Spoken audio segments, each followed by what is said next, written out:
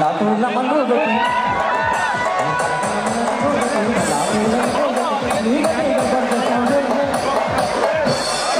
bỏ lỡ những video hấp dẫn